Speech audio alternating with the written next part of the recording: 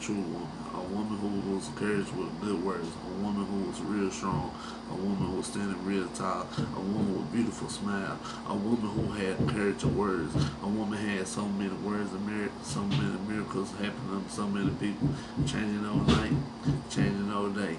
Give her that R E S. P-E-C-T, what do that mean to me? That mean a real respectful woman just laying her wings up there in heaven with God. A real woman spiritual, a real woman with wisdom, heart, a real woman you can just sit back, hmm, let me think what she mean by her music.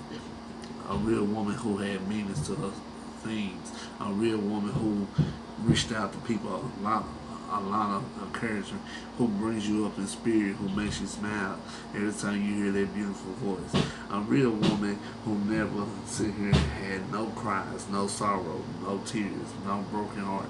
A woman who knows that she was a legend, that she was born here on earth for a reason, that God had blessed her to see through other people that we did not know what to see. We like, what do Aretha Franklin mean when she said, say a little prayer for me? That means say a little prayer and get your mind right while I pray for you through my music as you listen to me. And then we ask ourselves, what do respect mean when Aretha Franklin said R-E-S-T-P-E-C-T? What do that mean to me? That means respect her, our elders, because one day our elders is not going to be here with us long.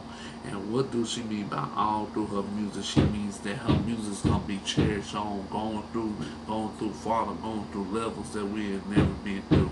Aretha Franklin was a good woman.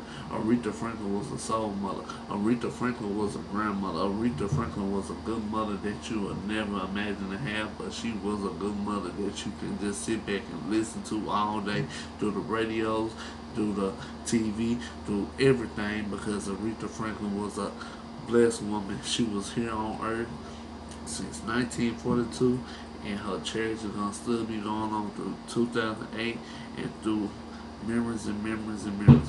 Aretha Franklin, you was truly missed and I love your music and you was one inspirational woman to me. I love your music. Rest in peace, baby. And I hope to see you soon. This is a well-speaking poem from Deontay Hunter from Texarkana, 25 years old. Um, hope this go viral, like for real. Rest in peace, Aretha Franklin. I made this slideshow for you. I hope you love it.